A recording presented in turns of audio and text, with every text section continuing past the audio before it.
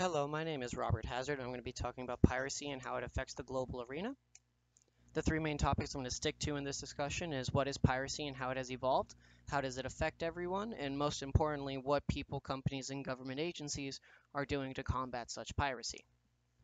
So in order to be able to combat piracy, we need to know what piracy is.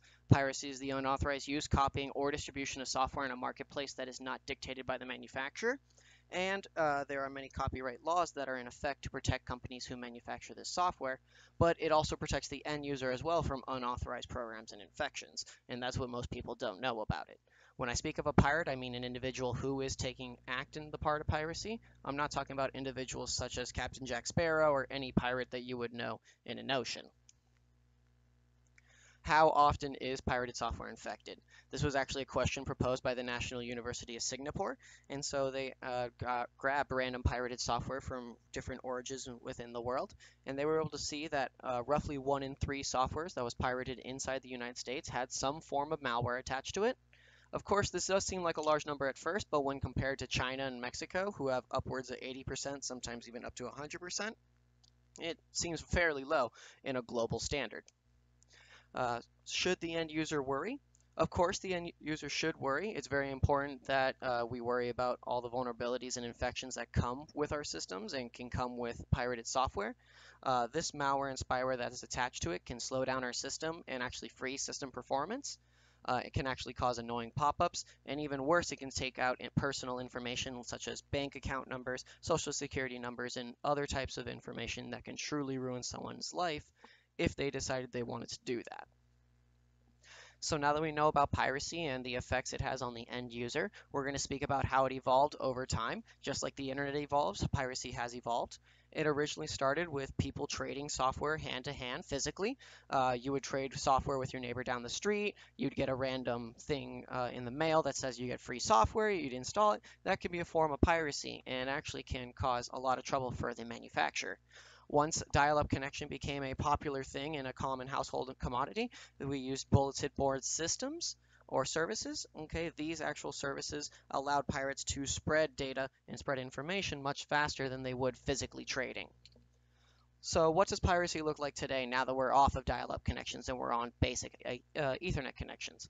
Uh, at the dawn of the new millennium, Napster was created. I believe it was Christmas of 1999 that it was released to the public. And this actually was a file sharing network, peer-to-peer -peer file sharing network that hosted software that you could download at any time. Uh, it was shut down two years later because it did host software that was illegally obtained or was pirated.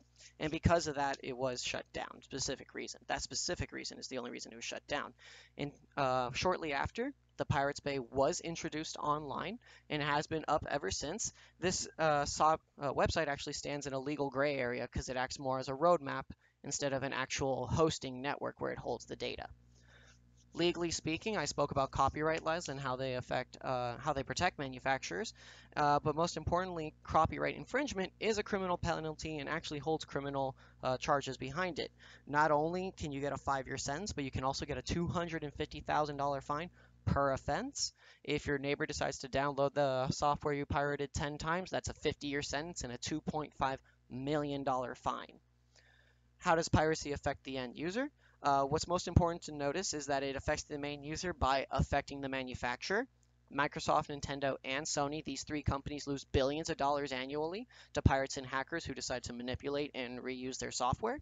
And because of this loss in profits, you can uh, actually see manufacturers increase prices. It can also cause restrictions on the end user and cause nothing but trouble when it comes to uh, how the end user wants to use their software. So as an end user, what should you and me do? Um, it's always important to make sure that your software is valid and it's authenticated properly. You can also check and see if your service technician is TAG certified. That's the trustworthy accountability group. Uh, but most importantly, if you see any sites or individuals that you think are uh, pirating software, you can always contact the authorities and tell them. What's most important is that you have proof. If you don't have proof, then there is not much of the pudding. You understand the reference there. Uh, unfortunately, law enforcement has so many things they have to do that if they decide to go after piracy, they would be able to go after no other crime. So now that we talked about what you and I as an end user can do, we're going to talk about what companies can do. They have five main ways that they actually verify their software, and the first one is through authentication. You'll notice this with your uh, iPhone's phone number authentication, email authentication, social security number sometimes can actually be authenticated. Uh, the second way is a product key or activation key. If you have a Windows computer, you can flip it over and you'll see that there is a product key sticker on the bottom, which actually has your product key, and that authenticates your Windows uh, software with Microsoft. Sometimes they have proprietary hardware, such as singular cables, readers, uh, printers, things of that nature, that will not allow uh, software to run without the hardware being attached to the system. Uh, a very common uh, fourth method is actually the phone home method. If you ever reset an iPhone, you will notice that the uh, iTunes software contacts the Apple servers at least three to four times while resetting an iPhone. And it's important to understand that this phone home method is very popular when it comes to resetting and setting up electronics new for the first time. When it comes to a forced network connection, you rarely ever notice this unless you work at Apple and you go in the back room or you work at a computer repair shop. Uh, having a forced network connection only allows a hardware system to work or a software system to work if it is constantly being connected to another network. In the Apple stores, you go to the back, you will see there is an actual device that needs to be connected to Apple servers or else it will not work.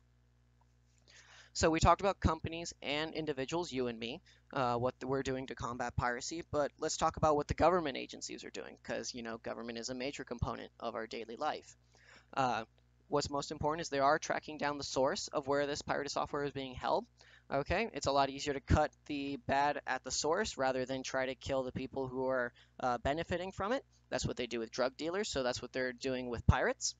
Uh, charging pirates with appropriate crimes actually acts as an incentive for individuals not to commit such crime.